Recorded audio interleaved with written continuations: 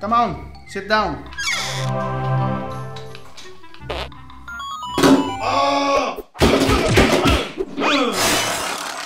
What can I do for you?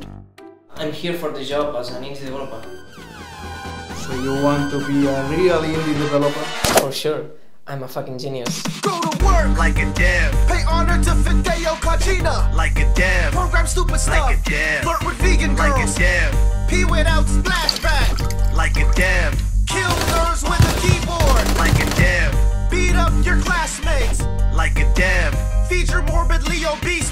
like a dev, Use famous characters and change their names. Like a dev, Violate copyright trademark. Like a dev, Live with an old man that's about to die. Like a dev, Become a mortuary beautician. Like a dev, Look for a part-time Like a dev. Fight a fast food mascot till the death. Like a dev, Violate even more copyright trademark. Like a dev. Masturbate intensively.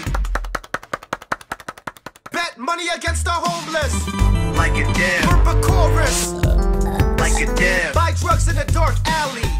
Like a dev, Convert blasphemous kids to Christianity. Like a dev, Go to international gay fairs.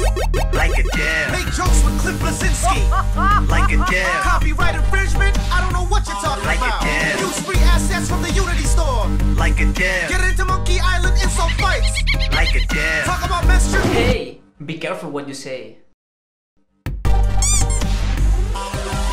like a